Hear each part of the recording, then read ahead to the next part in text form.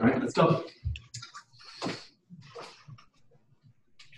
All right, good afternoon, everybody. It is, this is the special meeting of the Downers Grove Grade School District 58 Board of Education here at 4:01 PM at the ASC. Due to the ongoing COVID-19 emergency, the governor has issued executive orders making temporary changes to the requirements of the Open Meetings Act to allow the board and the public to comply with the most current rules regarding social distancing. This afternoon, Dr. Kevin Russell, Melissa Jervis, Vice President Gregory Harris, and I are in the ASC. All other board members are participating remotely via a Zoom video meeting. The meeting will be recorded and posted on the District 58's YouTube channel. Melissa, will you please call roll? Member Doshi, Here. Member Hannis. Here. Member Harris. Here. Member Olchek. Here. Member Samanti is absent. Member Weiner is absent. Member Hughes.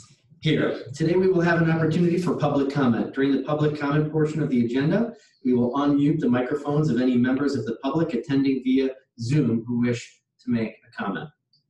Uh, The first item up today is a recommendation for action. It is a payment to BCI Burke Company for playground equipment. Is there a motion to approve the payment of $149,054.78 to BCI Burke Company as presented in the attached voucher? So moved. Second. Thank you. Uh, Any discussion? Okay. Then uh, Melissa, will you please call roll? Member Doshi, Aye. Member Hannis. Aye. Member Harris. Aye. Member Olchek. Aye. Member Hughes. Aye, the motion carried to approve the payment of $149,054.78 to BCI Burke Company as presented in the attached voucher. Um, That is our last action item, so we are now at the public comment portion. Are there any members of the public in attendance who wish to make a public comment? We will unmute your microphone if there is. We do not have anybody.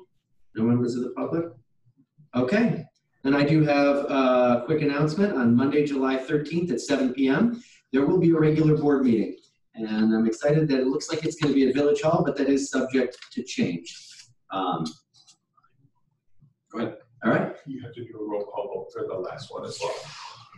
for the motion to adjourn, All of them, since the governor's guidance, you have to do a roll call vote for everything. that's fine. Um, So is there a motion to adjourn? So moved. Second. Um, All right. Uh, Melissa, will you please call roll? Member Harris. Aye. Member Olchek. Aye. Member Doshi. Aye. Member Hannis. Aye. Member Hughes. Aye, motion is carried. The meeting is now adjourned at 4:04 PM. Two minutes and 59 seconds. Thank you. We appreciate Well it. Everybody. It's a record. Yeah. Yeah.